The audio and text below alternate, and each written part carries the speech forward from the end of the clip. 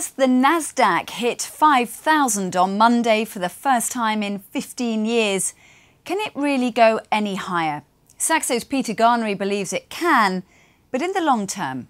Yeah, we're still positive on equities, but will, in the short term there will be some headwinds for uh, for the Nasdaq, and that's mainly due to the stronger dollar that will sort of take down the foreign profits that the uh, that the large cap companies in the Nasdaq index are, are getting. Um, but we are we are above 5,000. We're getting very close to an all-time high on, on the close.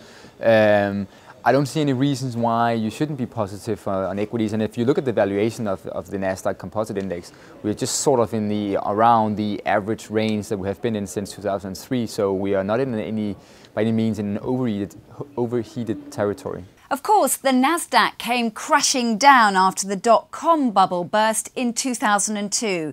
But Peter says the index looks very different today.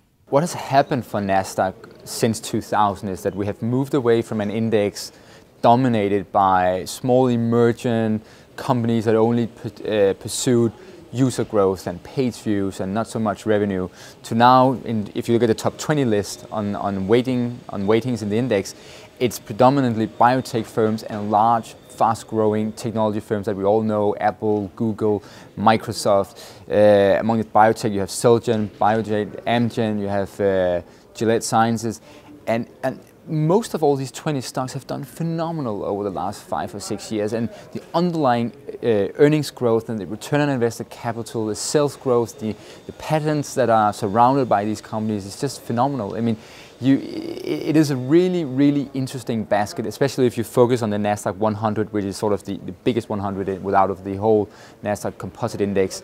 Peter sounding bullish there, but he's well aware the strong dollar could spoil the party. A lot of the big companies in the NASDAQ 100 index are getting a lot of their profits and sales overseas, so outside the North American continent. And because of the stronger dollar, all this foreign profit, when it's translated back into US dollars when on a consolidated income statement, you'll see lower profits. So the stronger dollar will act as a headwind for, for earnings, and that will take earnings growth down somewhat. And also the stronger dollar have changed investor focus, so people are looking at Europe now, and that's also will have an impact on, the, on sort of the, the sentiment on, the, on NASDAQ uh, equities.